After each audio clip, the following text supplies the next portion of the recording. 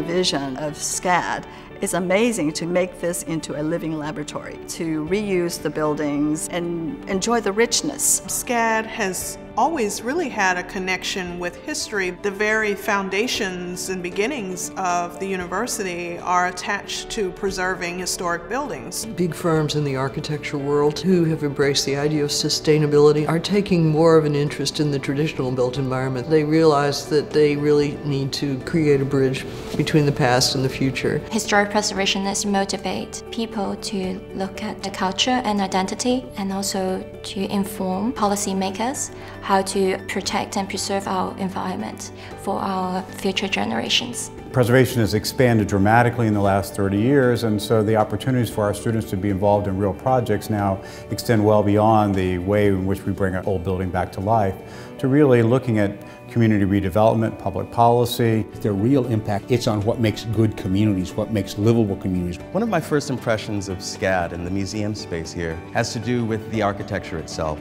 There's something quite profound about seeing the old edifice in its brick facade, then being buttressed by this new contemporaneous architectural space. It's just hard to imagine Savannah without the role of SCAD. These buildings that SCAD has reinvented and is repurposing for this educational use, they've just transformed the city in so many ways.